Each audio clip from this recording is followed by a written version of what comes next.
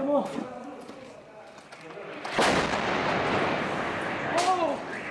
Oh my god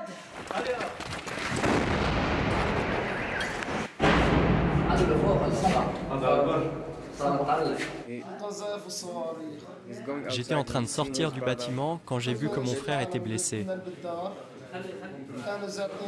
Je me suis précipité à l'intérieur, puis une nouvelle bombe a explosé.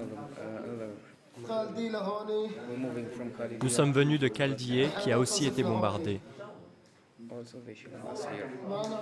Nous ne savons plus où aller.